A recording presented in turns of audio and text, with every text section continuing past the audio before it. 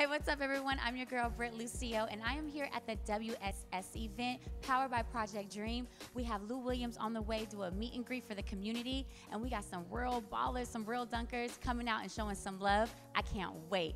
Come on, let's go check it out.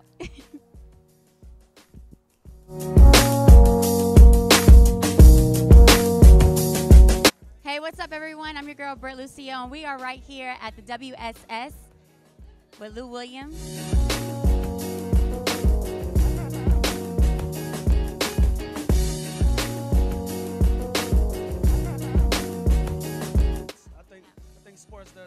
You have so many different cultures and people from different backgrounds, and sports bring a lot of that together. I've had so many different teammates that um, I wouldn't have had to, had the opportunity to meet hadn't it, hadn't been for basketball. So any sport, whether it's football, baseball, allow opportunity for white kids, Hispanic kids, black kids to get together, all different types of cultures. I think that builds unity. So It's all about the community. every time, for sure.